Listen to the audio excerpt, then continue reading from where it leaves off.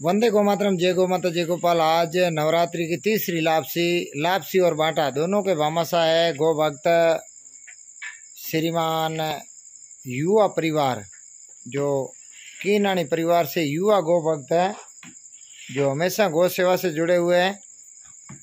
और युवा गो भक्त बेंगलोर, जो कीनानी परिवार से युवा गो भक्त बेंगलोर है, उनकी तरफ़ से एक लाभ शिव एक दिन का नवरात्रि में बांटे के भामाशा बने गौ भक्तों ने बहत्तर सौ रुपये गौ सेवा के लिए सहयोग किया।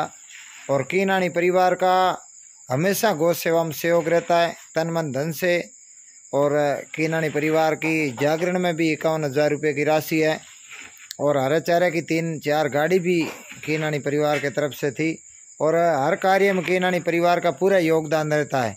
विशेष हमारे जो युवा भाई, बेंगलोर और यहाँ आजू बाजू घर से बाहर कार्य करने वाले सभी युवा गौ भक्त कीनानी परिवार के जितने भी गौ भक्त हैं, सब दिल से जुड़े हुए हैं और इन वात्सल्य धाम के लिए हमेशा सहयोग करते ऐसे परिवार को मैं बहुत बहुत धन्यवाद देता हूँ और सभी गौ भक्तों से निवेदन करता हूँ, जैसे युवा, कीनानी परिवार में जो युवा गौ सेवा के लिए आगे आ रहे हैं, ऐसे हर घर से युवाओं को गौ सेवा में जुड़ना चाहिए।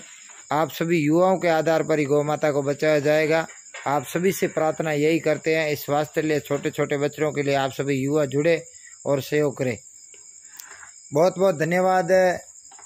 समस्त कीनानी परिवार गौ भक्त सऊ, चोरा। धन्य है ऐसे परिवार को, जिन्होंने हमेशा गौ सेवा में सहयोग किया। कीनानी सऊ परिवार का योगदान हमेशा गौ सेवा के लिए रहता है। बहुत बहुत धन्यवाद।